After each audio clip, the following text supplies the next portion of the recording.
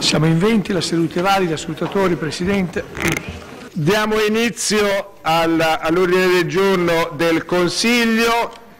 Comunicazioni del Presidente non c'è nessuno. Comunicazioni del Sindaco neanche. Comunicazioni dei Presidenti di Commissione? Vedo che chiede la parola il consigliere Bonni.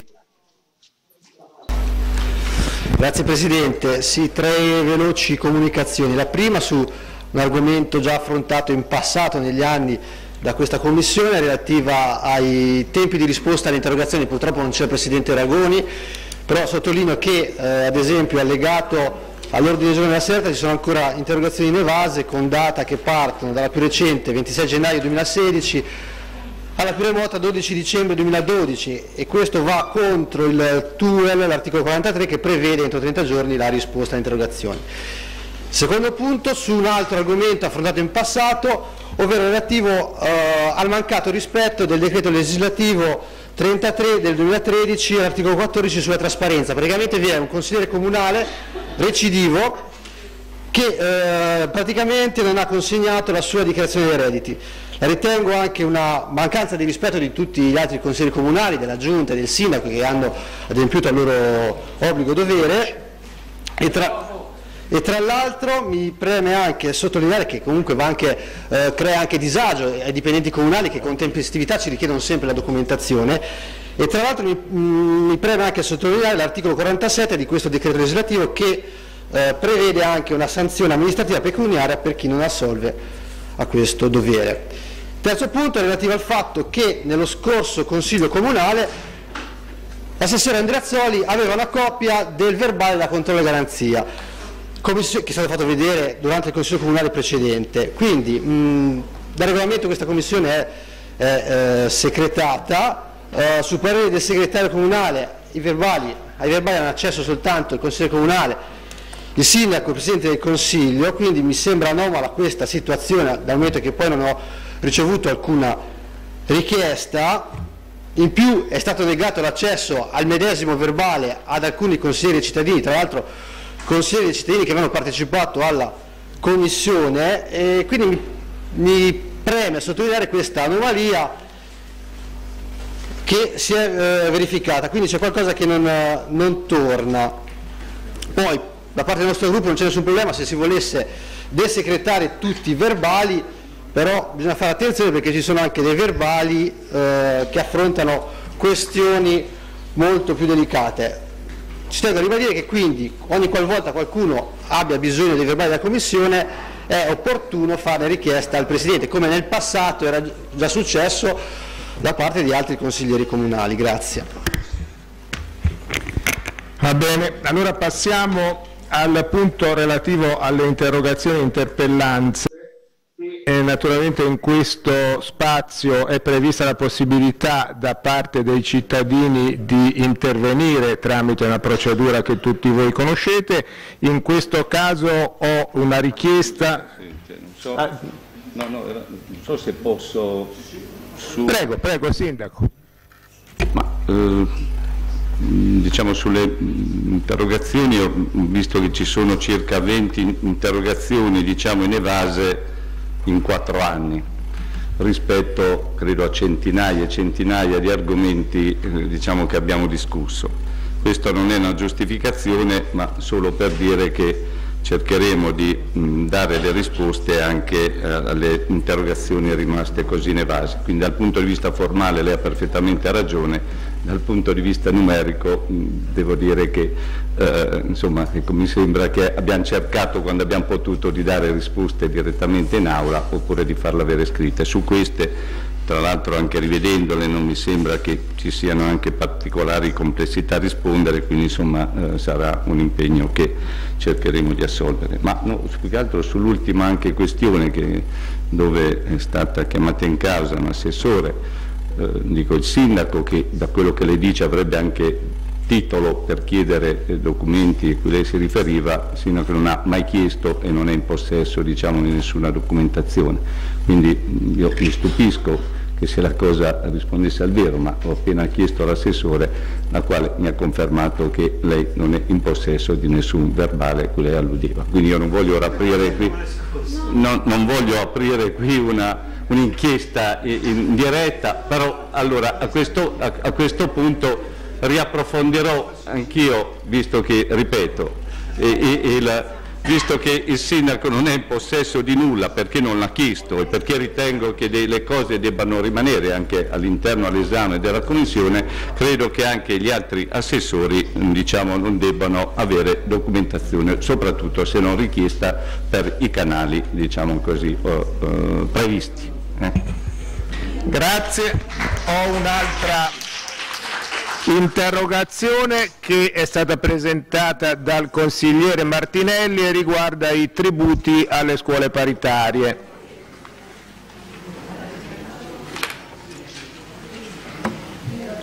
Grazie Presidente.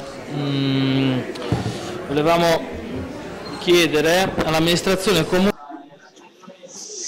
in merito alla sentenza della Corte di Cassazione, la numero 1425 dell'8 luglio 2015, la quale ha stabilito che, a norma della legge vigente, le scuole private, comprese quelle religiose, ancorché parificate alla scuola pubblica, sono fino a prova contraria attività svolte con modalità imprenditoriali ed aventi dunque carattere commerciale e che pertanto sono tenute al pagamento delle imposte comunali sugli immobili di loro proprietà, IMI, IMU o in precedenza ICI. Eh, la sentenza specifica che non sono sufficienti a provare la mancanza di una modalità imprenditoriale della semplice destinazione dell'edificio ad uso scolastico né il fatto che il risultato economico della gestione non sia positivo ma soltanto il fatto che il servizio sia offerto agli utenti a titolo gratuito o comunque per un corrispettivo slegato dal costo dei servizi non idoneo nemmeno tendenzialmente a perseguire il pareggio di gestione e che resta comunque al contribuente l'onere della prova. Scuole private non, confessio non confessionali, tra l'altro, organizzate in forma di società, già tuttora corrispondono le tasse imposte sugli immobili di loro proprietà utilizzati per l'attività scolastica. Pertanto il Comune, eh, per equità verso tutti i contribuenti, non può chiaramente esprimersi da richiedere il pagamento delle imposte a chiunque vi sia tenuto, indipendentemente da qualsiasi valutazione sul merito dell'uso a cui sono destinati gli immobili.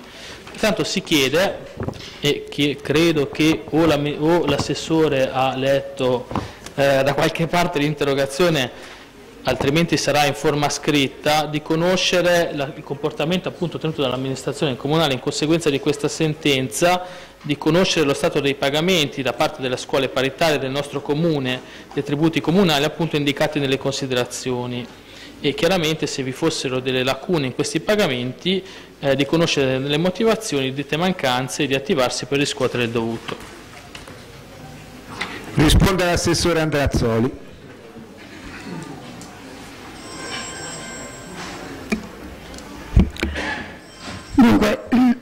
Le sentenze sono due, la, quella che ricordava lei e la precedente, quindi la 14.226 e la 14.225, tutte e due praticamente sentenze che sono state dichiarate nel mese di luglio. In seguito a queste sentenze, perché prima eh, comunque c'era una situazione di incertezza, eh, si è proceduto a fare un censimento di tutte le scuole paritarie e eh, sono stati inviati già anche gli avvisi di accertamento. Ora per quanto riguarda il discorso dei pagamenti è chiaro che poi eh, nel momento in cui eh, si vedono eh, recapitare gli avvisi di accertamento ci sono tutti ehm, i percorsi dei ricorsi che chiaramente possono eh, comunque ehm, ripresentare o comunque non nel merito ma comunque mh, per eh, le metrature, quindi quello che effettivamente rientra nel, nelle attività che sono soggette, quindi da soggettare attualmente all'IMU e quello eh, che invece dovrebbe restare escluso e quindi ci sono ehm, diciamo delle... Mh, dei colloqui costanti perché, per la rilevazione di questi mezzi, però comunque gli accertamenti sono stati inviati alle scuole che eh, sono state censite dalla pubblica istruzione come paritarie. Passiamo alla mozione successiva riguardante il nero alle cave presentata da Carrara Bene Comune.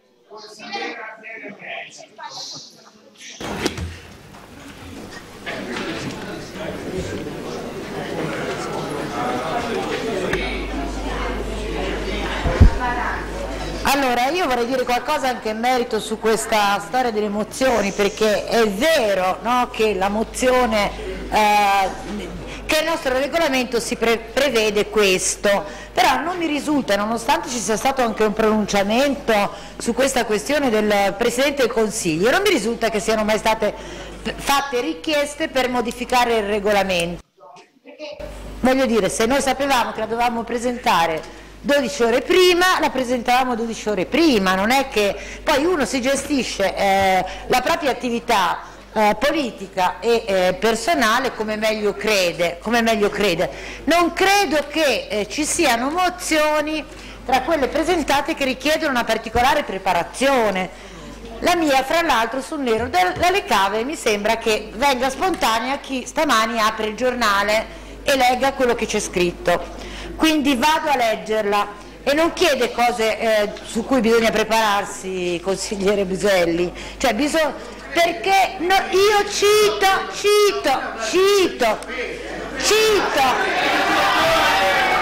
cito No, per favore, per favore non, non, si, può gestire così un consiglio comunale, poi mi costringete a sospendere la seduta. Scusa, Presidente, io cito, cito, non cito la stampa, cito i comunicati ufficiali emessi ieri dalla Procura di Massa, quanto ho emesso per invitare a questa, a questa conferenza dal comando della Guardia di Finanza, quindi non mi invento niente non mi invento niente. Allora, è notizia di questi giorni che le indagini condotte dalla Procura di Massa Carrara nell'ambito dell'operazione Black Marble, a noi non ci facciamo mancare niente qua, stiano riguardando ben 30 persone per i reati di frode fiscale, falso, attività abusiva, di prestazioni di servizi di pagamento, di pagamento ricettazione e riciclaggio. L'indagine di polizia giudiziaria svolta dai finanzieri ha portato alla luce un vero e proprio sistema di evasione fiscale utilizzato da imprenditori che operano nel distretto del Marmo di Carrara e anche da altre persone ad essi collegate, molte delle quali di origine asiatica. In due anni gli indagati avrebbero omesso di dichiarare beni per complessivi 86,9 milioni di euro.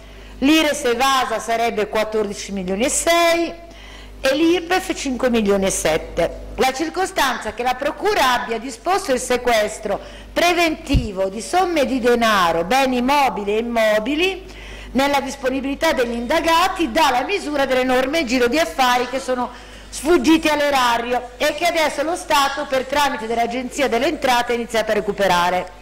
Diversi indagati hanno iniziato a rifondere l'erario versando le somme relative alle imposte evase e alle sanzioni applicate e i primi versamenti hanno permesso allo Stato di rintroitare 4 milioni e 6 di euro.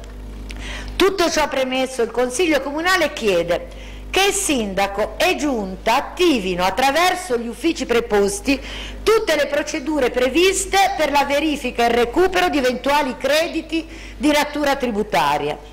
Che l'amministrazione si costituisca parte civile nel procedimento penale contro i soggetti indagati al fine di ottenere il giusto risarcimento di tutti i danni che i comportamenti illeciti eh, ad essi contestati hanno arrecato o stanno arrecando ingiustamente alla comunità locale. Ma accorgo che c'è nella, nella, mozione due date, ma insomma ovviamente è buona la prima, la seconda si vede che era, me era rimasta nel file.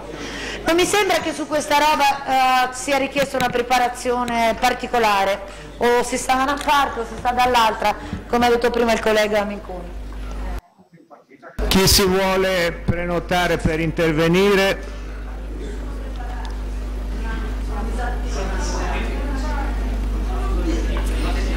Matteo Martinelli.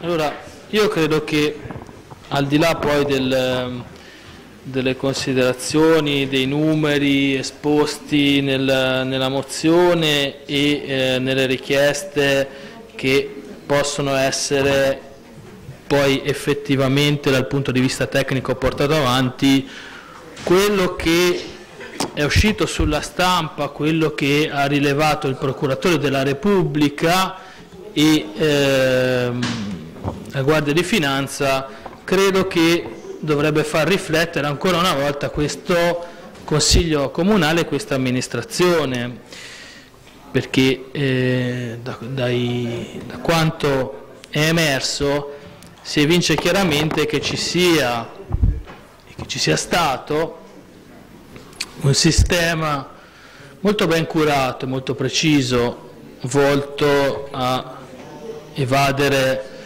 le imposte statali e questo dovrebbe far pensare Silenzio. che se questo sistema ha funzionato o può funzionare con le imposte statali eh, certamente non sfugge all'intelligenza di nessuno che potrebbe funzionare molto bene anche per quanto riguarda i proventi che il Comune ritrae dall'Apido, visto che anch'essi colpiscono il valore, o meglio oggi colpiscono il valore di mercato dei materiali. Ora, al di là di, dicevo, come dicevo, di quello che il Comune può effettivamente fare nel merito di quanto già accaduto, quello che sarebbe opportuno cominciare a pensare è quello che può fare da oggi in avanti, visto che molto spesso ci troviamo a dover discutere di regolamenti che in qualche modo coinvolgono le imprese estrattive. E qua dobbiamo, dobbiamo fare attenzione perché eh, è citato nella, nella, mozione il numero di indagati, il fatto che ci sia stata un'operazione di questo rilievo, comunque molto esteso, eh, non ci può far ritenere che siano tutti della solita, della solita pasta e che tutti abbiano posto in essere atteggiamenti simili. Però, come dire, gli importi sono veramente elevati se confrontati a quelle che sono le necessità di questo Consiglio Comunale e a quella che è la realtà della nostra città. E leggendo anche le pagine di giornale emerge in tutta chiarezza non tanto, io non mi soffermerei nemmeno tanto sul, sui reati che sono, che sono stati evidenziati perché poi i procedimenti di natura tributaria hanno un, doppio, hanno un doppio binario, uno tributario che ha le sue regole uno penale che ne ha altre, ma quello che secondo me è importante sottolineare è l'egoismo, l'egoismo di determinati comportamenti, perché se è vero quello che ho letto sulla stampa, cioè di milioni di euro portati in qualche simpatica isoletta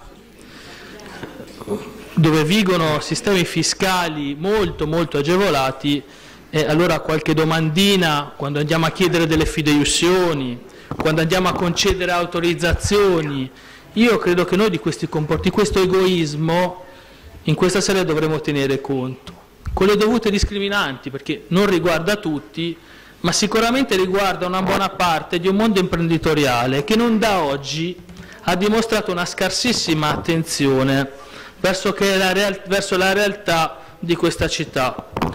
Una città che secondo me ha dato molto al mondo imprenditoriale, ha dato molto in termini di vite, ha dato molto in termini di risorse, non da ultima la costruzione della strada dei marmi, perché non ci dobbiamo mai dimenticare che non, se non fosse per i cittadini di Carrara che si sono sobbarcati l'onere della costruzione di quell'opera, oggi probabilmente i, i loro signori lavorerebbero a ritmi molto diversi, molto diversi, cioè che non è pensabile avere, veder passare per la città 800 camion con le centraline che ci dicevano determinate cose.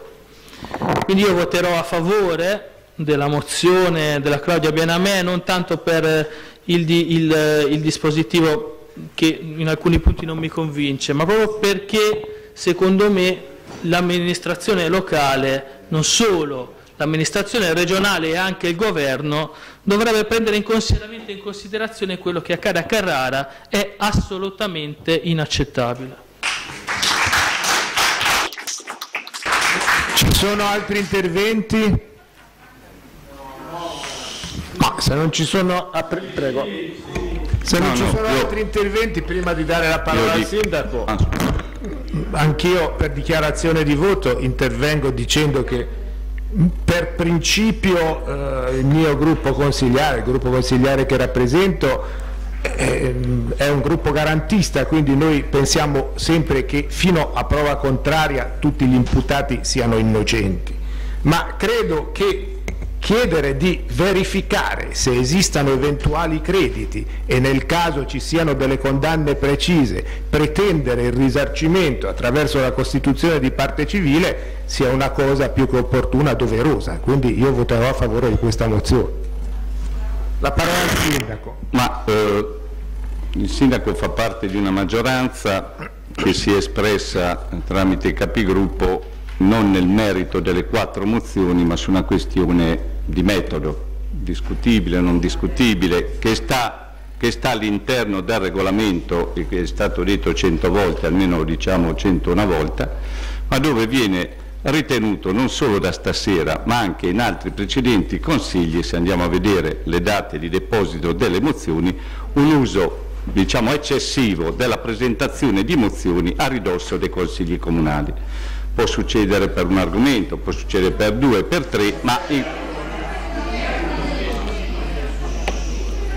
ma sto ripetendo pur nelle regole, pur nelle regole del regolamento questo è stato ritenuto politicamente una volontà di non di mettere in difficoltà nessuno ma di non dare la possibilità di fare dei dibattiti più approfonditi, più puntuali, di portare più contributi e magari di arrivare anche alle solite condivisioni e alle solite votazioni su alcuni argomenti.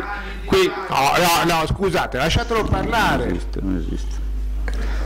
Allora, io se la posizione politica, non su questa mozione, né su quella che viene dopo, né quella che viene dopo ancora, rimane quella che i capigruppo di maggioranza hanno espresso, il sindaco si allinea alla posizione di votare contro, non nel merito della mozione, non nel merito, non nel merito della mozione, ma sulla questione diciamo così, di metodo, dicendo anche che ritengo che la mozione abbia, abbia una condivisione per quanto riguarda che se ci sia stata un'evasione come la Procura e la Guardia di Finanza stamattina hanno detto, e io per la mia parte ho detto anche di come calcoliamo, di come Vabbè, Vabbè, è uguale, via. Non... Di, di, questa cosa, ripeto, io figuriamoci se abbiamo tentennamenti per andare anche a recuperare i crediti e, e, i tributi che poi in qualche modo ricadono anche sul bilancio comunale, tipo l'IRPEF e altre cose di questo genere.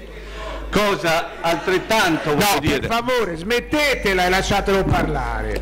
Cosa altrettanto da discutere sulla questione della, mh, di costituirci parte civile in procedimenti che sono penali, saranno amministrativi, non si sa perché bisogna aspettare l'evolversi diciamo, delle accuse e quant'altro. Quindi non c'è nessun problema anche qui ad andare fino in fondo per eh, affiancare diciamo, la procura, la, la giustizia, la guardia di finanza in questo senso.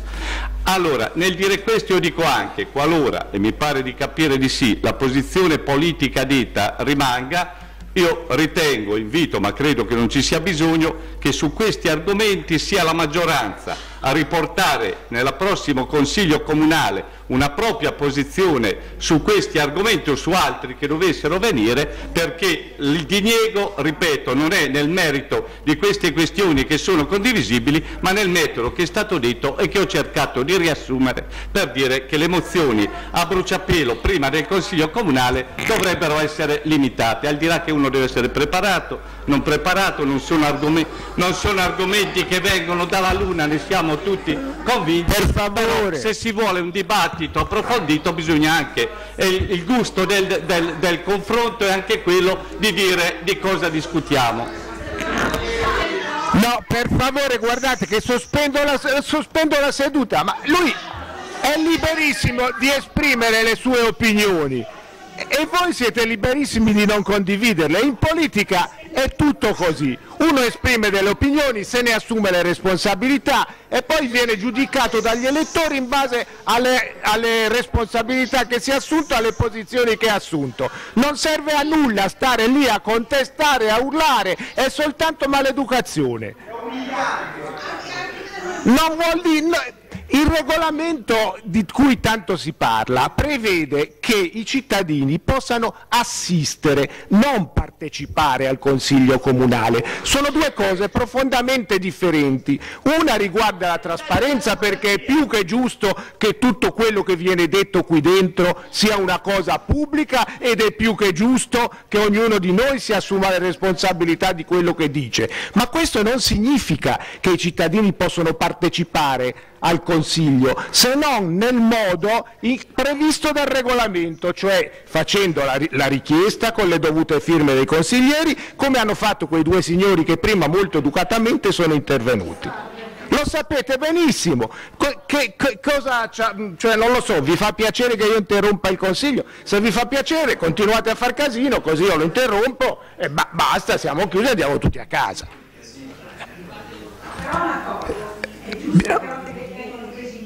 Ma non viene preso in giro nessuno. Se uno ritiene di essere preso in giro, vota in un altro modo, non viene qui a fare casino in consiglio comunale. Se uno ritiene di essere preso in giro da una forza politica, da una persona, da un gruppo, vota in modo difforme, non viene qui a fare confusione.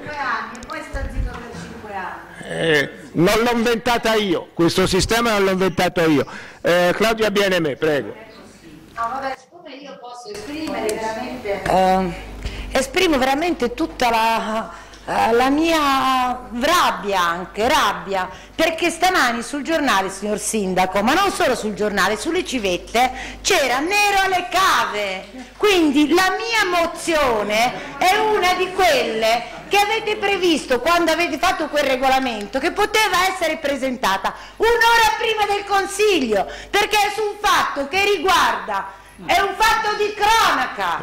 Allora, io veramente rimango sconvolta da vedere che questa maggioranza e questo sindaco, ma non avevo dubbio da che parte stesse, invece di stare dalla parte dei cittadini, sta dalla parte da chi ci distrugge il territorio, ci porta via tutto il nostro inquina le nostre sorgenti, sorgenti e ha distrutto questo territorio e lascia i suoi cittadini alla fame.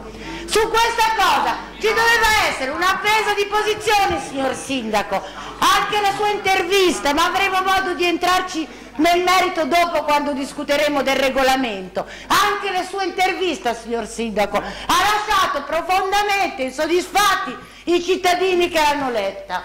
Io comunque non la ritiro. Prendete non i sostenitori, i cittadini. No, per favore, ora, ora sospendo, io, eh. Io no, su sta roba, io i nomi in tasca dei miei sostenitori dei miei elettori non ce l'ho, perché io non ho dato niente ai miei elettori. Io i miei elettori non lo so chi sono.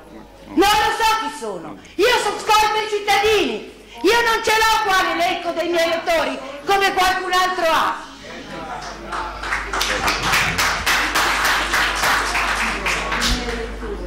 Consigliere De Pasquale. Grazie. Allora, mi rivolgo al collega Buselli, mi rivolgo al sindaco. Eh, io rivendico il mio diritto di presentare una mozione entro un'ora precedente Consiglio Comunale, perché c'è nel regolamento, al di là del formalismo del, del, del regolamento su cui si può eccepire, ma il regolamento che io come il mio gruppo consigliare abbiamo trovato, che ha votato qualche partito che è da, da decenni che in, questo, che in questo Consiglio Comunale, L'ultima eh, modifica del regolamento risale alla precedente consigliatura, quindi se non si è ritenuto necessario, c'era anche lei come, come, sindaco, quindi voglio dire, nessuno ha avuto niente da eccepire, quindi non si capisce perché oggi all'improvviso eh, si trovi da ridire sul, sulla possibilità di presentarlo un'ora prima. Se la cosa da, crea imbarazzo, crea problemi, e avete la maggioranza, cambiatelo, non c'è problema, si, in, si fa la proposta di delibera, si fa in discussione e, e si modifica, quindi non c'è, non c'è problema, ma se il consigliere ha la possibilità di eh, presentare una mozione un'ora prima del Consiglio, ha tutta la libertà di poterlo fare. E ricordo anche un'altra cosa, che sentire queste affermazioni da delle forze politiche che hanno il coraggio di cambiare per esempio, di convocare le commissioni all'ultimo momento in, in orari diciamo, definiti di urgenza, cioè tra le 24 e le 48 ore, quando invece si potrebbero fare con il dovuto orario, in modo tale che anche i cittadini potessero partecipare, ve, lo ricordo, senza, per, non andiamo tanto lontano, pensiamo all'ultima Commissione Lavori Pubblici, non c'è il Presidente ma c'è il Vicepresidente, per la quale è stato cambiato l'orario la mattina stessa, si cambia l'orario come quando pare. Eh, se questa, scusate, è democrazia, allora non vedo perché uno non debba presentare le mozioni un'ora prima del Consiglio Comunale. Cioè qui le regole devono valere per tutti, non solo per l'opposizione, scusate, eh? Grazie. Sì. Luciano Tonarelli. Luciano Tonarelli. Non è che stiamo entrando nel merito se lei poteva o non poteva presentare questa mozione, l'abbiamo detto, era suo diritto farlo. Semplicemente, siccome sono state presentate più mozioni, quattro mozioni, fateci approfondire l'argomento e il prossimo Consiglio Comunale porterà.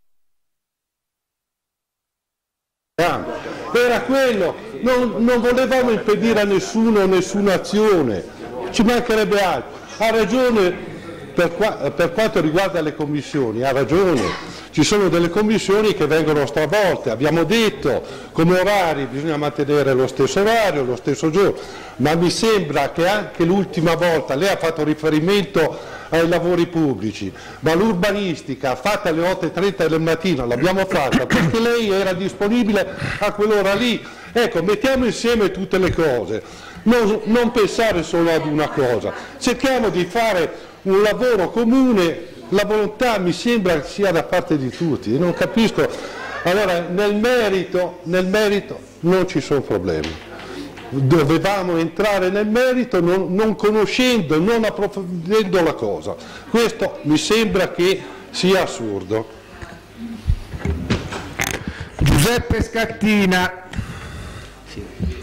Io mh, mm, volevo dire che mh, mm, naturalmente voterò sì alla mozione, non sto a dilungarmi sulla, sulla questione che è già stata spiegata dalla mh, mm, consigliera Bienemè.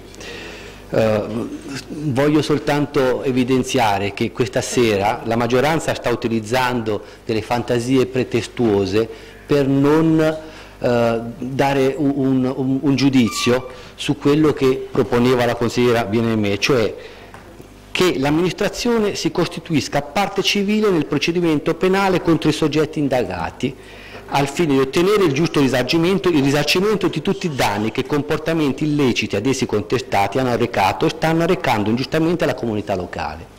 Voglio ricordare che eh, l'amministrazione comunale sta amministrando dei beni che sono dei cittadini. I cittadini sono gli azionisti di, del comune.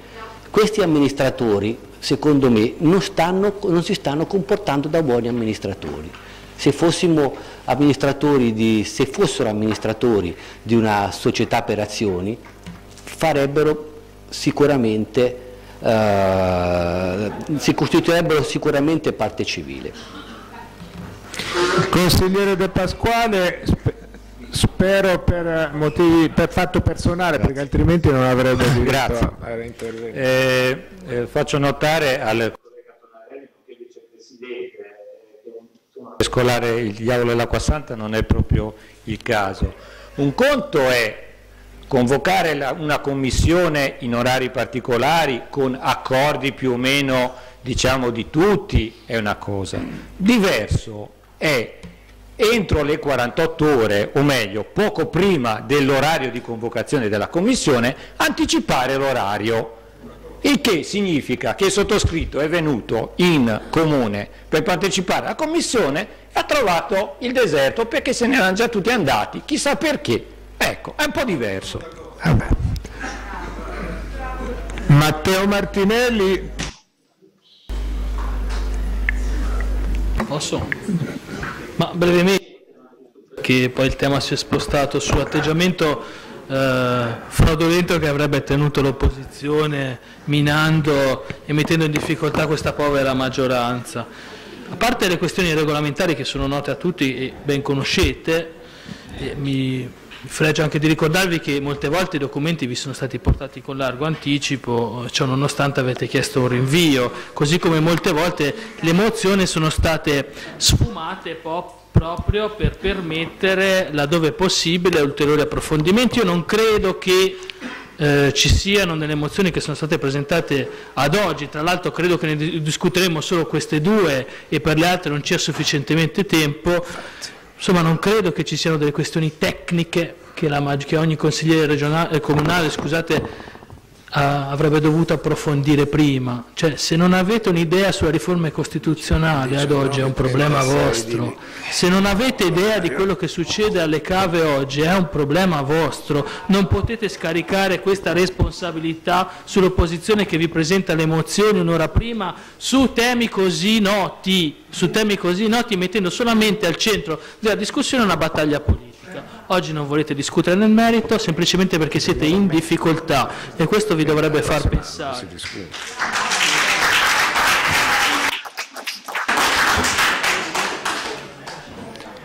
Quindi se non ci sono altri interventi io metto in votazione il...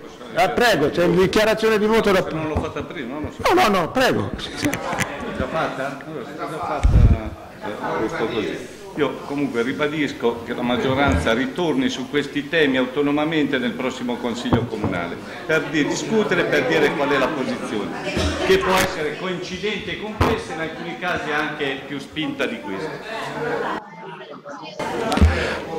Allora metto in votazione il documento. Chi è favorevole alla mozione presentata dalla consigliera BNM alzi la mano. 4, 5, 6, 7.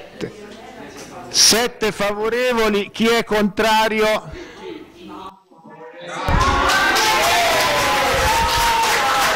11, 2, 3, 4, 5, 6, 7, 12 favorevoli, la mozione è 12 contrari, 12 contrari, la mozione è respinta.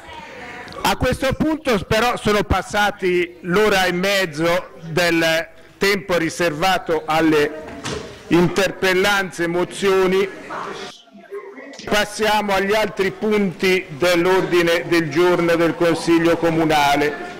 Il punto numero 6 è regolamento per la gestione e la riscossione del contributo di estrazione di cui all'articolo 36 della legge numero 35 del 25-3-2015, approvazione. Naturalmente le mozioni che sono state presentate stasera non è che vengono scartate, verranno ripresentate nel prossimo Consiglio Comunale che visto che già, ci sono già cose sulle quali si chiede di intervenire, spero sia convocato al più presto. Chi presenta il provvedimento del punto numero 6?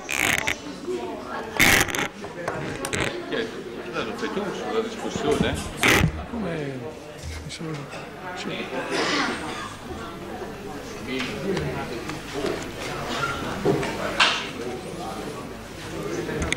Commissione viene Tonello.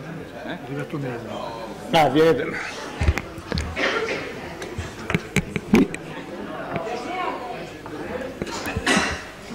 No, chi, chi presenta il provvedimento? Mi dicono il dirigente Tonelli.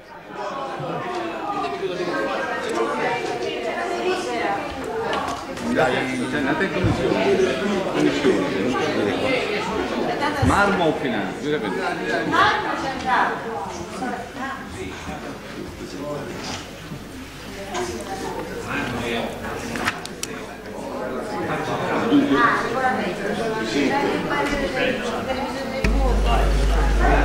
Vado? Ma si tratta di una deliberazione con la quale viene mh, posto all'approvazione del Consiglio un regolamento per la gestione e la riscossione del contributo di estrazione previsto dalla nuova legge regionale in materia di cave e attività estrattive.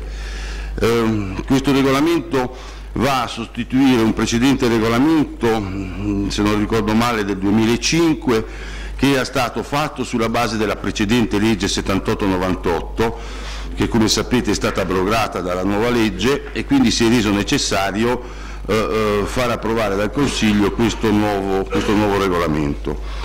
Eh, nel fare riapprovare il regolamento al Consiglio si è anche ritenuto opportuno inserire nel regolamento stesso eh, tutta una serie di elementi e indicazioni basate eh, quasi sempre sull'esperienza maturata in questi anni eh, di applicazione del contributo e sono state quindi riportate in maniera direi abbastanza dettagliata rispetto al precedente regolamento queste, queste modalità e criteri per la gestione e la riscossione del contributo. Ehm, non so se devo ecco, dettagliare nello specifico il regolamento, ricordo al Consiglio che il regolamento, che il regolamento è stato esaminato a più riprese dalla competente Commissione Marmo e anche dalla competente Commissione Affari, Affari Generali e Istituzionali, dove sono state anche recepite alcune osservazioni pervenute da parte dei consiglieri e quindi stasera viene presentata all'approvazione del Consiglio.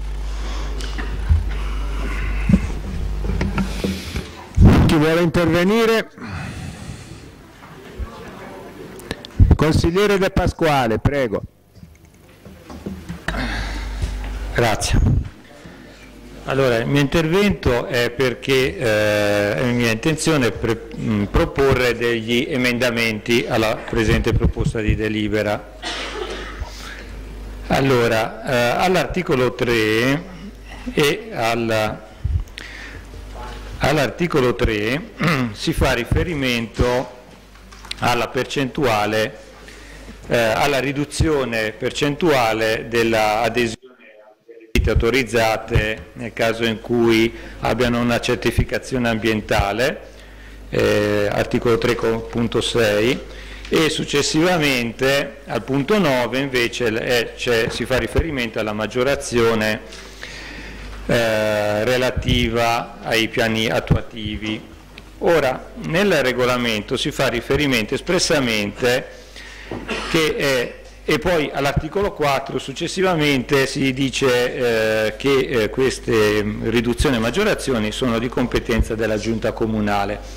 Ora, eh, in sede di discussione consigliare il dirigente ci ha proposto a, a noi consiglieri di eh, formulare una percentuale e quindi ritengo opportuno poi eh, deciderà insomma, il, il, Consiglio che a questo punto è sovrano, ritengo opportuno più che riservare gli importi alla Giunta, riservarli al Consiglio.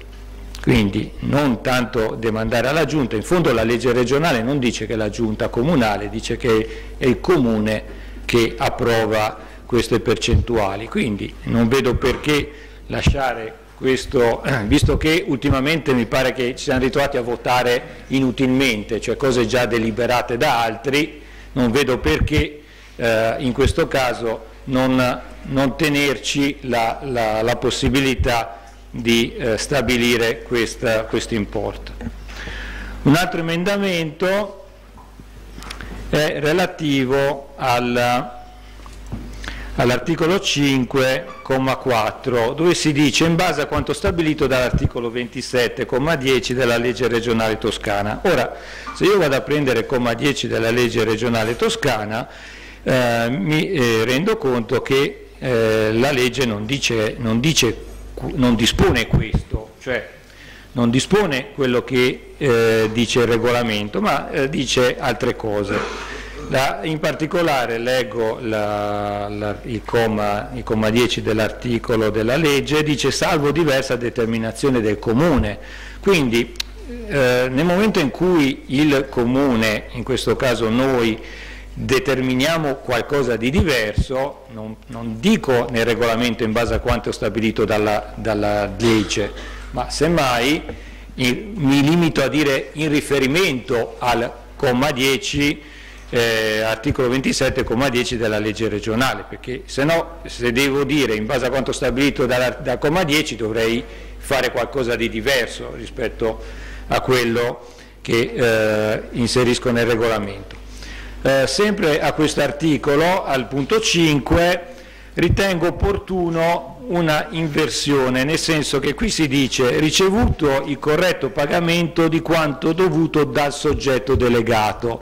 Siccome questo si presta a delle interpretazioni malevole, cioè quanto dovuto dal soggetto delegato, sarebbe opportuno eh, rigirarla in un'altra forma, cioè ricevuto dal soggetto delegato il corretto pagamento di quanto dovuto, a scanso di equivoci, che qualcuno non lo interpreti male, perché quanto dovuto non è dal soggetto delegato ma dal titolare della eh, dell'autorizzazione, ben, una situazione ben diversa. E in, formulato in questo modo si presta ad equivoci e il dirigente scuote la testa, io, sono, io faccio il mio mestiere, lei fa il suo, e cosa vuole che le dica? Eh, poi, al, sempre all'articolo 5, sempre al punto 6, eh, dove si dice nei casi in cui risultino contestualmente insolute da parte del soggetto e dei soggetti delegati numero due fatture emesse dal Comune.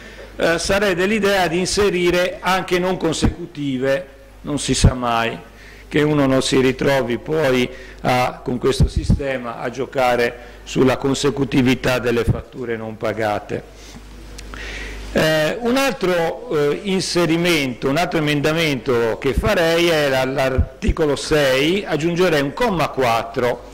Perché aggiungerei un comma 4? Perché eh, non dimentichiamoci che eh, è in uso in questo comune, probabilmente anche in altri comuni, eh, chiedere le rateizzazioni dei pagamenti.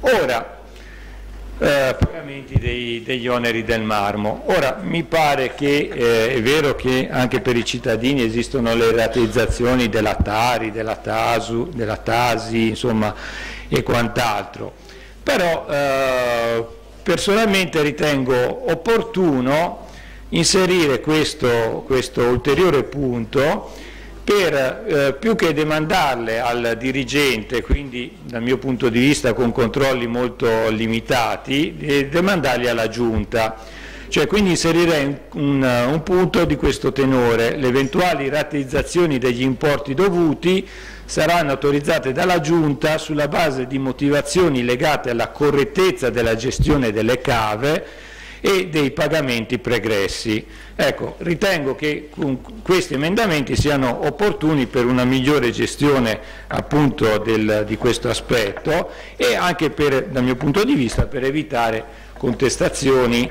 legate a interpretazioni diciamo, non troppo favorevoli alla, diciamo, alla collettività. Grazie. Ci sono interventi, Matteo Martinelli. Sì, eh, grazie Presidente. Purtroppo mi trovo costretto a portare questo emendamento in Consiglio Comunale, già che nella Commissione che era stata convocata non mi è stata data la possibilità di portare avanti e di approfondire la questione che ho provato, ahimè, a porre all'attenzione dei commissari, ma era troppo tardi e quindi eh, la Commissione evidentemente era stata convocata perché eh, i consigli di maggioranza avevano bisogno di alzare la manina, io non vengo per alzare la manina, se ho qualcosa da dire la dico in Commissione e in Consiglio Comunale. Innanzitutto eh, secondo me era opportuno inserire una parte dedicata ai rateizzi eh, come ha sottolineato il consigliere De Pasquale, eh, perché appunto il contributo regionale all'escavazione rappresenta oggi il maggior provento che il Comune ritrae dal settore lapideo e sarà anche questa, questa caratteristica aumenterà in futuro visto che l'aliquota in base alla legge regionale è stata aumentata al 10%. Quindi secondo noi era opportuno valutare in questa sede per velocizzare le procedure di riscossione quel, quel tipo di normativa. L'emendamento che vado a proporre eh, modifica l'articolo 5, il penultimo capoverso, quando si parla di fideiussioni dovute dal eh, delegante al delegato al pagamento del contributo regionale. È un meccanismo che eh, credo che in questo Consiglio Comunale sia abbastanza noto perché è stato più volte dibattuto, cioè la possibilità che il Comune concede ad un eh, titolare di diritti di escavazione, ovvero al soggetto che lavora una cava, di delegare al pagamento del contributo in oggetto un trasportatore. Finalmente in questo regolamento si, direi, si introduce un criterio di eh, garanzia eh, rappresentata appunto dalla fideiussione che garantisce immediatamente il Comune rispetto alle fatture eventualmente inevase da parte del delegato, ovvero da parte del trasportatore. Nel testo che ci è stato proposto, eh, appunto l'articolo 5, l'importo di questa fideiussione sarebbe pari al 50% dell'ammontare del contributo di estrazione maturato nell'anno precedente ed imputabile alla cava. Ora, io ehm, ho parlato di questa cosa anche con, con, il dirigente e considerato che poi il, ehm, diciamo, il capoverso successivo praticamente permette al Comune di andare a discutere la fideiussione alla seconda fattura in evasa e le fatture, mi corregga se sbaglio, sono mensili, praticamente dopo due mesi di fatture non pagate il Comune può aggredire la fideiussione. Ora però faccio questa considerazione perché eh, sicuramente voi sapete che ci possono essere nel corso di un periodo temporale ehm, delle differenze tra i volumi prodotti da una cava rispetto all'anno precedente, per cui sostanzialmente se, eh, se, si vuole mantenere la percentuale del 50% ritenuta appunto congrua e idonea a garantire il Comune, credo che non vada riferita a quella dell'anno precedente ma al contributo anno più elevato di quelli maturati nei cinque anni precedenti, ovvero sia in questo modo, scusate, abbiamo un arco temporale sufficientemente vasto per andare a coprire eventuali picchi di produzione che una cava può avere rispetto nei cinque anni. Per cui sostanzialmente l'emendamento, lo vado a leggere, e dice per un importo pari al 50% dell'ammontare del contributo anno più elevato tra quelli maturati nei precedenti 5 anni ed imputabili alle cava, anziché, anziché per un importo pari al 50% dell'ammontare del contributo di estrazione maturato nell'anno precedente ed imputabile alla cava. Io so che le fideiussioni eh, bancarie costano ed è eh, per me, anche alla luce di quello che ho letto oggi star, eh, sulla stampa, anche un po' di piacere nel fargli pagare qualche soldo in più eh, in fideiussioni, visto che loro signori non si trattengono nel far pagare sontuose parcelle ad avvocati al Comune per i continui e pretestuosi ricorsi che portano avanti nei confronti di questa amministrazione comunale. Claudio.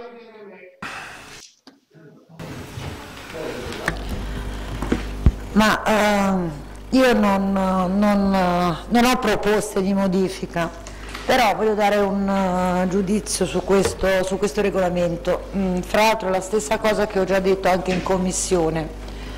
Uh, a me sembra che noi andiamo, uh, continuiamo ad andare avanti per, uh, con modifiche, integrazioni e quant'altro senza voler affrontare quello che è il problema che è eh, la revisione dell'intero regolamento sui, sugli agri marmiferi comunali.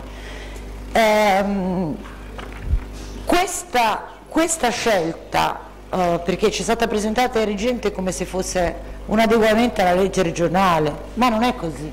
Noi un regolamento ce l'abbiamo, solo che il nostro regolamento fa acqua, ha fatto acqua a tutte le parti e ha creato un buco, un buco di somme non riscosse per quasi 15 milioni di euro dalle origini, dalle guerre puniche come si dice in commissione, no? perché i dati sono dati vecchi, ma là uh, questo sistema è andato avanti. I dati recenti che ci sono stati forniti, o quantomeno che mi sono stati forniti perché li ho richiesti dal settore marmo, mettono in evidenza come con questo sistema del delegato, che poi è il camionista, questo non paga e probabilmente non ha niente alle spalle per costringerlo a pagare. Allora ci siamo accorti che è un sistema questo, io anche in questo consiglio ho detto, siccome nel regolamento il signore che è delegato eh, deve avere conseguito il gradimento dell'amministrazione, questo è il nostro regolamento vigente, come il gradimento dell'amministrazione rimane e permane scritto nel regolamento degli agri vermiferi articolo 10 ter o non lo so, non mi interessa qual è l'articolo, però rimane scritto attualmente per quelli che sono eh, le entrate relative alle concessioni abbiamo ancora anche questa cosa, dice ma di lì i soldi entrano, che entrino o non entrino il pensare che c'è qualcuno eh, che deve essere gradito all'amministrazione e come fa a continuare a essere gradito quando per anni e anni e anni ha accumulato debiti di milioni di euro, l'ho detto qua e lo ridico, ma come veniamo minacciati da questi graditi? Eh? Come, a che livello siamo minacciati?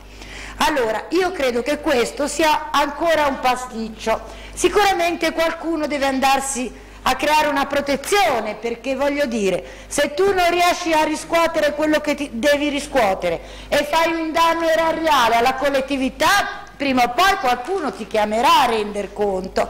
E allora troviamo questa, questa, uh, questo regolamento che sicuramente garantisce di più, per carità garantisce di più perché si parla uh, di una fideiussione, una fideiussione che nella prima stesura del regolamento che io ho ritrovato, la prima stesura era del 100% della somma, ora è diventato il 50%, che parla di fiduzione bancaria e assicurativa, quando so che ormai eh, le, le, fiduzioni assicurative mm, non è che siano proprio così ben viste e forse io l'assicurativo lo toglierei, lascerei solo quella bancaria, ma comunque insomma ripeto, a me complessivamente questa articolazione mi sembra un pasticciaccio, perché, e eh, l'avevo detto che la, eh, sarei intervenuta ora, noi comunque, comunque eh, sulle cave garantiamo, eh, garantiamo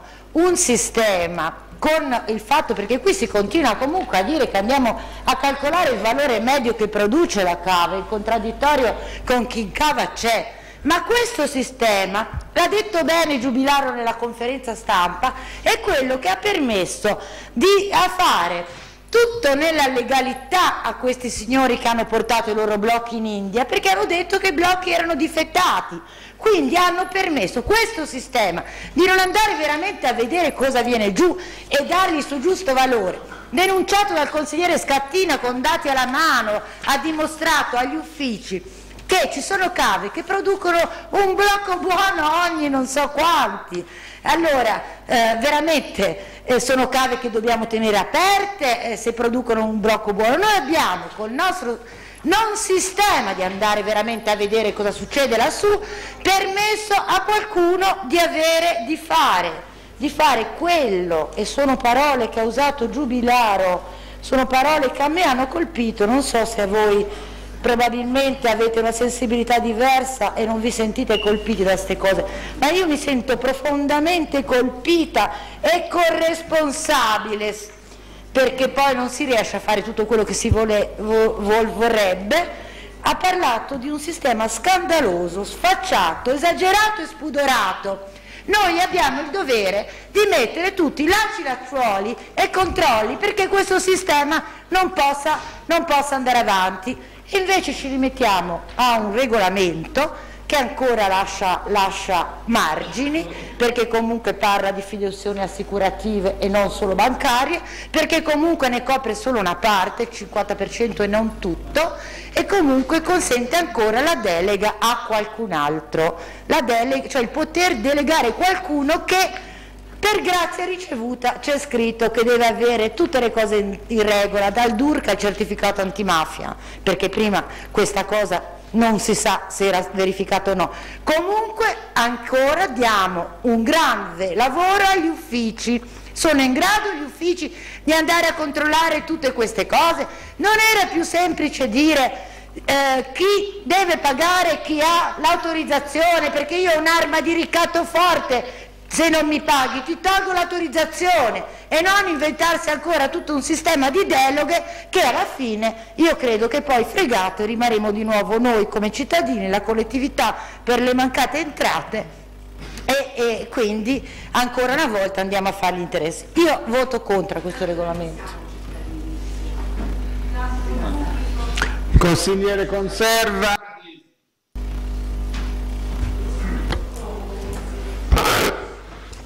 Grazie Presidente. Io vorrei ecco, fare due riflessioni più che altro su due emendamenti che sono stati richiesti da, dai colleghi De Pasquale e Martinelli. Non entro nel merito di tutte le citazioni che faceva De Pasquale, ecco, vado nella sostanza delle cose e particolarmente sul rateizzo. Il rateizzo è una cosa che eh, viene fatta da anni, viene fatta sulla base di provvedimenti che l'amministrazione ha, ha, prodotto, ha adottato. Eh, logicamente poteva essere anche questo un momento per regolare tutti i rateizzi, ma ci sembra un pochino più eh, adeguato poterlo eh, fare eh, nell'ambito degli agri marmiferi, nel regolamento che dovrà andare a regolare tutta la materia eh, legata al settore lapideo e pertanto non solo per il discorso eh, legato alla legge 36 ma anche alla, a quelli che sono i canoni eh, degli agri mammiferi. Uh, quindi ecco, il discorso del rateizzo poteva essere eh, introdotto in questa sede, ma ci sembra più giusto e più adeguato introdurlo nel regolamento generale degli agri mammiferi. Per quanto concerne questa vituperata fideiussione, io non ho niente in contrario perché non mi sento assolutamente preoccupato di far risparmiare nessuno. Io ho eh, solamente eh, bisogno di, quando eh, faccio una proposta di regolamento, che sia una proposta con un po' di buonsenso.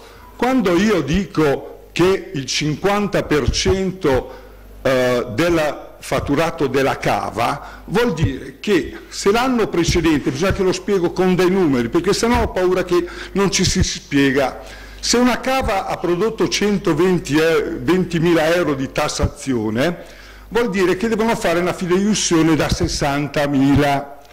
Siccome si presuppone che mensilmente vanno a fatturare 10.000 euro, vuol dire che dopo due mesi io posso escutere la fideiussione e la montare di 20.000. Quindi sono tutelato tre volte tanto. Ecco, ora che tutti qui, eh, mi rivolgo un attimo, mi dispiace che è andata via la consigliera Bienemè, perché lo, lo, mette come uno scandalo, ma mi sembra una norma di buonsenso. Io sono tutelato tre volte da quello che potrei.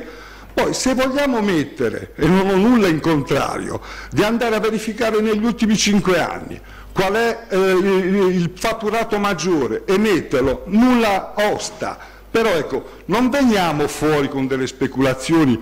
Il regolamento, nessuno dice che è perfetto, ce n'è ancora di cose da poter migliorare. E infatti eh, tutte le volte che ci ribatteremo sopra verrà fuori qualche elemento, specialmente ecco, su proposta degli uffici, perché poi noi lo possiamo pensare, ma poi è l'ufficio che lo deve applicare. E le vere eh, eventuali situazioni eh, anomale sono proprio gli uffici a, a doverle manifestare. Tant'è che tutto questo eh, elaborato è frutto principalmente dell'esperienza maturata negli uffici e non ultimo è proprio la fideiussione. Sul piano del delegato, vogliamo levarlo il delegato, ma cioè il 70-80% del, del, del, delle scaglie viene pagato cash immediatamente proprio in virtù di questa, uh, di questa regola Ora, se vogliamo andare a rimettere in gioco anche le cose che vanno bene, io non lo so, forse abbiamo un minimo di, di, di masochismo, perché se una cosa va bene, il delegato il 70% viene pagato immediatamente e lo vogliamo andare a mettere in discussione e lo vogliamo andare a ripartire su tutte le autorizzazioni, ecco, a me sembra un'assurdità. Poi se l'ufficio appunto deve seguire eh, in maniera precisa ecco, le, le, situazioni del delegato, che lo diceva la BNM, non è, si sta rifacendo polemica su quello che è stato fatto dieci anni fa. Oggi un delegato deve avere tutti i requisiti di garanzia per l'amministrazione. In più c'è una fideiussione, in più c'è eh, la cava autorizzata. Io non lo so, ecco, non, non siamo davvero a, a, tutelare qualcuno qui, siamo eh, senz'altro a cercare di prendere quello che compete al comune. Consigliere Scattina. Io voterò contro l'approvazione di questo regolamento perché credo che sia malato proprio nelle basi. Ci si lamenta perché tanti cittadini si allontanano dalla politica, ma se la politica continua a produrre minestre riscaldate come questo regolamento, la responsabilità dell'antipolitica montante è di chi governa e amministra facendo sempre le stesse cose, o, me o meglio gli stessi errori, senza mai avere il coraggio di imboccare strade nuove e di innovazione. Con questo regolamento si continua a percorrere la strada di sempre che avvilisce e impoverisce la città. Abbiamo il sindaco che ha già cominciato a vantarsi, gli industriali a loro volta minacciano o hanno già fatto ricorsi e li vinceranno, come quasi sempre. Il nero, che è già sistematico nel commercio del marmo, crescerà anche per quanto riguarda la produzione. È realistico e doveroso pensare che chi evade nella vendita cerchi di evadere anche nella produzione. Alla fine chi avrà perso saremo solo noi cittadini, le montagne saranno devastate, la ricchezza che producono rimarrà nelle mani di pochi assenteisti dal territorio e l'amministrazione diventerà ancora più paurosa del potere di chi estrae i marmi, di quanto non sia stata finora. Questa amministrazione non ha il coraggio di innovare, stavo dicendo prima, e si tiene stretta al principio, e questo è il punto fondamentale, che bisogna cambiare. Si tiene stretta al principio del cosiddetto valore medio della produzione delle cave. Il giochino è questo, ma il valore medio è a priori un valore al ribasso che sfugge a ogni serio controllo e consente abusi di ogni genere, come quelli che oggi sui giornali vengono denunciati, di miliardi di evasione fiscale nella commercializzazione. Scusate, non miliardi ma milioni. Il valore medio è una bufala, non esiste, è solo un accordo alla grossa tra amministrazione e industriali, o meglio, non è neanche un accordo di massima, ma è il prodotto di un rapporto di forza tra gli industriali sempre vincenti e amministrazione sempre perdente. Il valore medio sottostima, e questo lo ha eh, eh, detto anche il eh, direttore dell'ufficio Marmi due anni fa, Tonelli, che il valore medio era sottostimato e continua a essere sottostimato. Il valore medio, stavo dicendo, sottostima il valore della produzione del marmo. Il valore commerciale dichiarato del marmo non corrisponde al valore reale di mercato e questo è un danno per le casse del Comune, ma anche per quelle della Regione e dello Stato. Non ha senso parlare di valore medio se prima di tutto non si istituisce un osservatorio dei prezzi del marmo. Se non c'è questo, di cosa si discute? Su cosa, su cosa si dovrebbe fare questa media?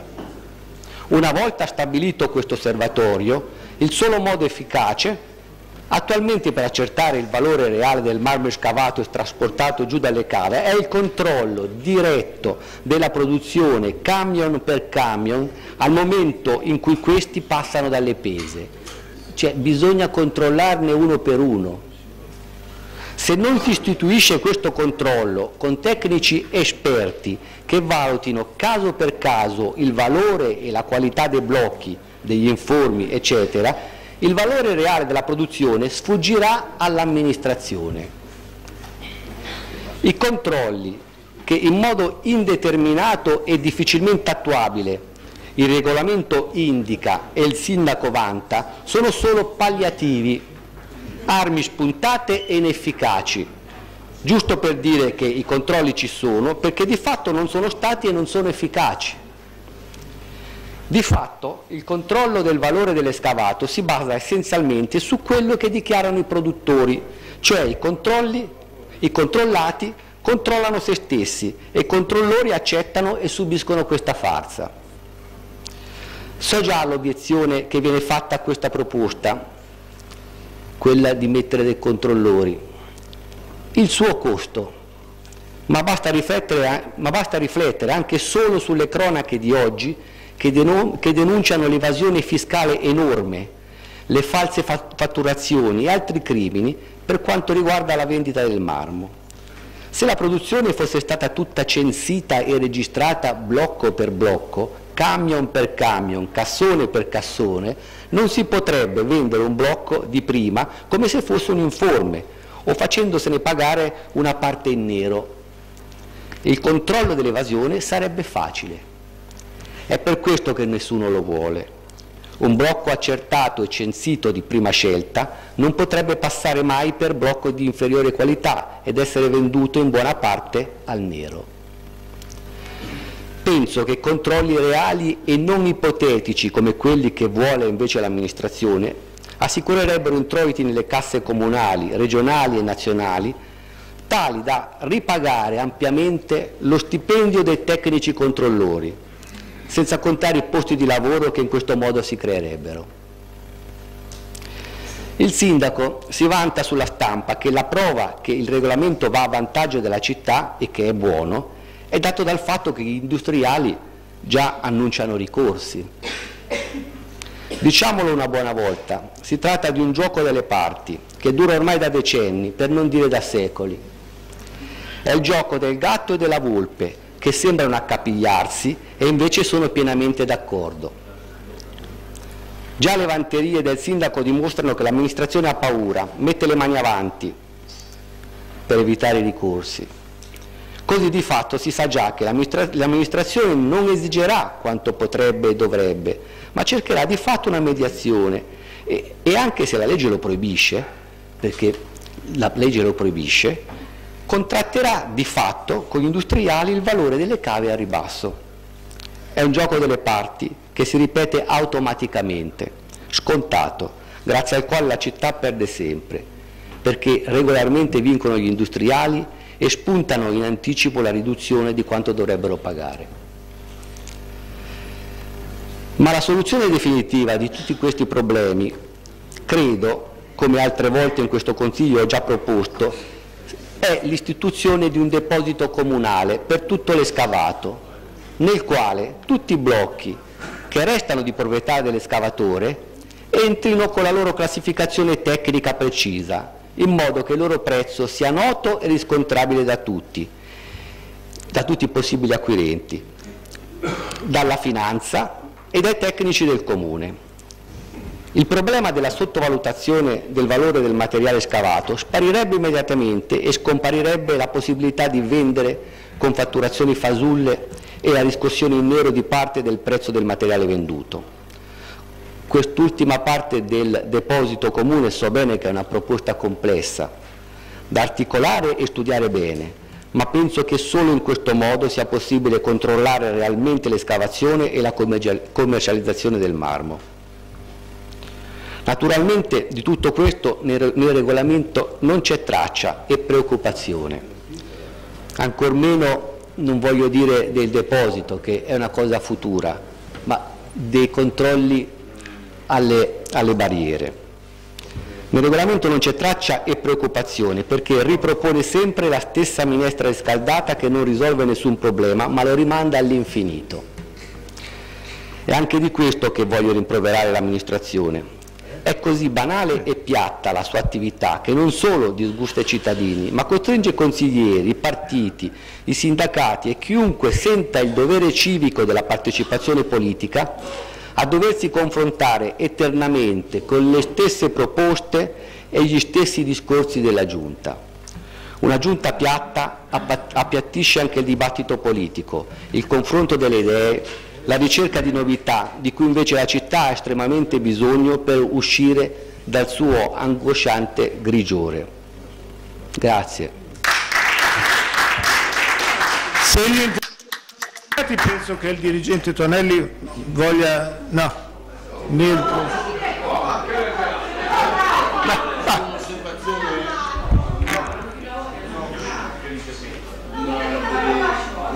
fatti dal consigliere De Pasquale. Parla microfono per Scusa, pronto?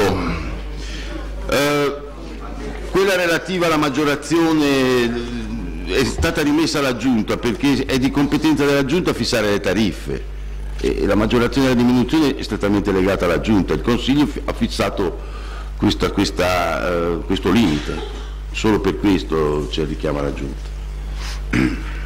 Claudia Bienemè voleva intervenire? Mm, il collega Conserva ha, ha, citato il fatto che eh, il delegato paga eh, e quindi perché dobbiamo questa cosa. Ora per far capire eh, anche ai cittadini il delegato che paga è Omia. Omia certo che paga, ma non, non c'è solo Omia che trasporta, Omia paga a mio parere perché noi gli regaliamo l'oro bianco a Omia, perché non ho mai visto e non ho visto anche in questa fase della nuova legge regionale nessuna richiesta da parte dell'amministrazione di rendere le scaglie bianche materia prima seconda e quindi avere una tassazione e non residuo. Cioè noi, l'ho detto anche ieri, non ho paura a dirlo qua, Sappiamo della difficoltà che c'è ora a piazzare le terre e i detriti di, di minor valore, tant'è che rimangono a monte.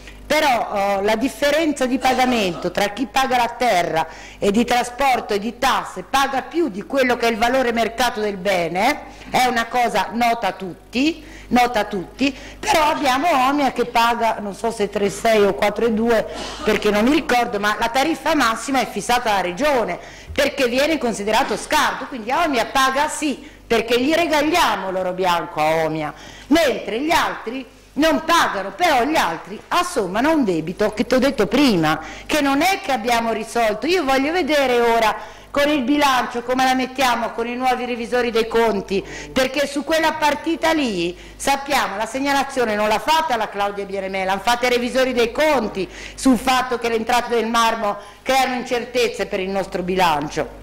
Quindi lo so bene che Omia paga, ma il fatto che Omi paga non, dà, non ci autorizza a estendere un sistema veramente assurdo a tutti e Omnia paga, e te lo dico perché paga, perché gli regaliamo l'oro bianco.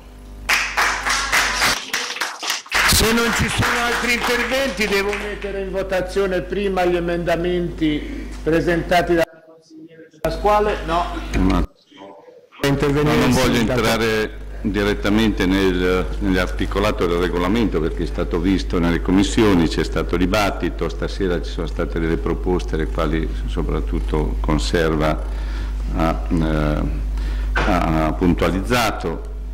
Io voglio dire che se, come sempre, quando si butta per aria l'argomento marmo, anche se stasera eravamo a discutere del regolamento per la gestione e la riscossione, salta fuori il discorso dei prezzi che vedremo prossimamente, tra, poco, tra poche settimane, ancora prima dei nuovi prezzi, salta fuori eh, la produzione, saltano fuori le cose più fantasiose come sempre, come ho sentito, e non ultimo salta fuori che si regalano le scaglie. Vorrei dire che basta guardarci un po' intorno per capire gli approvvigionamenti anche di, di materiali per, eh, tipo quelli usati diciamo, dalla multinazionale che è qui da 20 anni, da 25 anni, per capire che secondo me non siamo fuori mercato o non si regala niente a nessuno. Vorrei anche ricordare che quando qualche anno fa c'è stata una crisi proprio quando ancora non c'era la strada dei marmi, l'Omia faceva venire le, eh, del marmo dalla Turchia, credo di marmo più o meno simile al nostro e credo che abbiano continuato a produrre anche quando, anche quando eh, i trasporti erano bloccati per le polveri, PM10 e quant'altro. Quindi io ritengo che le tariffe che siano state fatte e concordate con la Regione non siano per eh, regalare nulla né all'Omia né a tutti gli altri né tutte le altre aziende, perché non c'è solo l'Omia che ovviamente assorbe una buona parte del, ehm, delle scaglie bianche, ma ci sono nel comprensorio Apo Versigliese e anche Ligure diciamo, tante altre, tante altre eh, eh, società.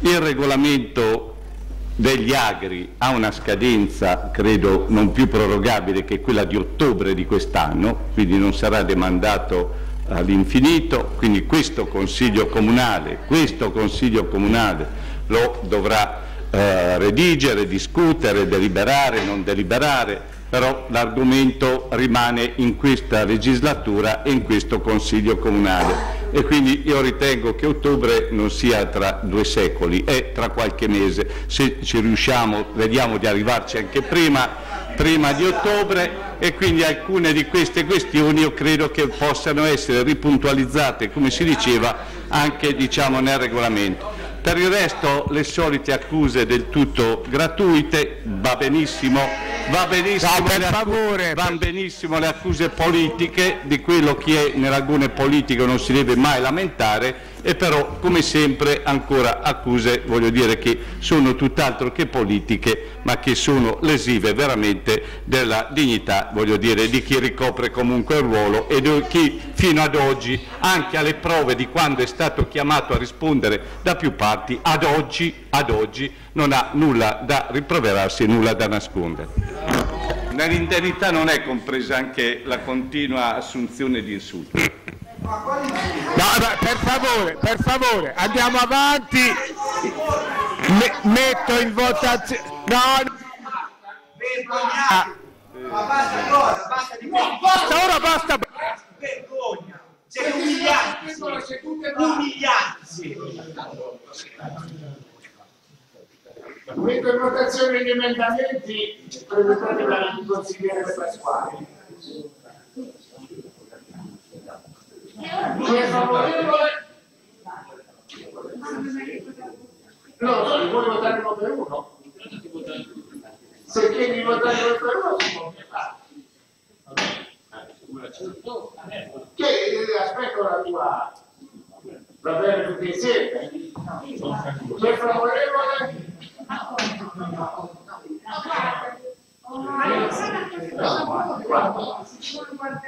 Chi è contrario?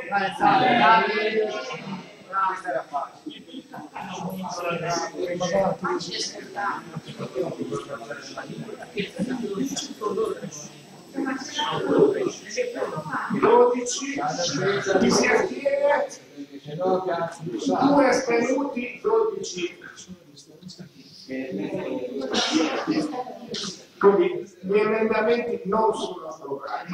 L'emendamento del metto in votazione il, eh, l'emendamento presentato dal consigliere Matteo Martirelli. Chi è favorevole? L'emendamento proposto da Martinello è quello di vanificare negli ultimi cinque anni l'anno dove c'è stato un approvazione. L'anno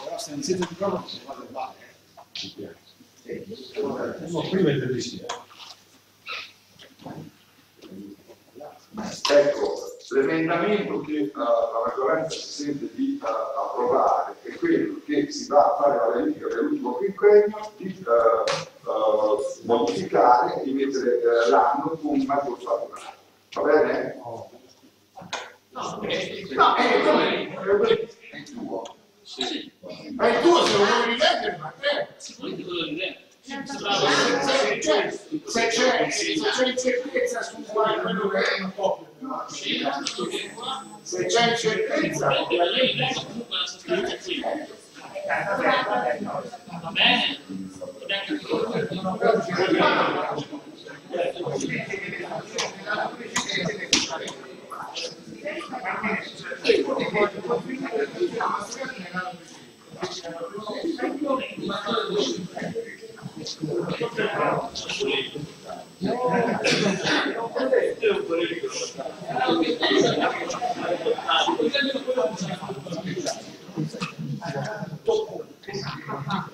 Quindi si tratta della proposta di modifica di piccola parte dell'articolo 5 come segue. Unitamente alla richiesta Quale comma è Matteo? Comma 5, penultimo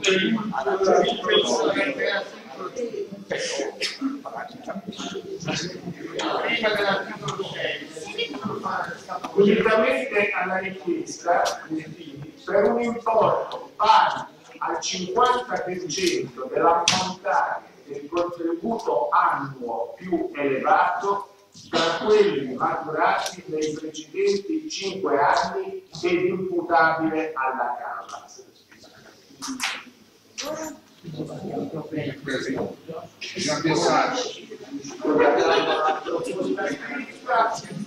Chi è favorevole all'emendamento?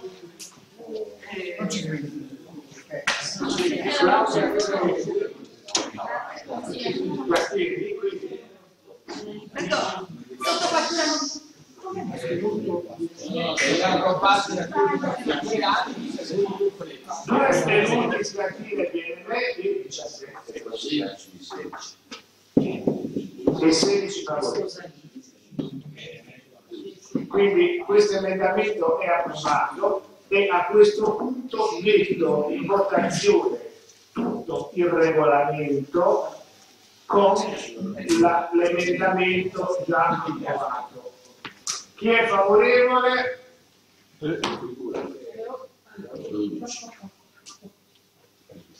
Chi è contrario? Due. Chi si astiene? Quattro.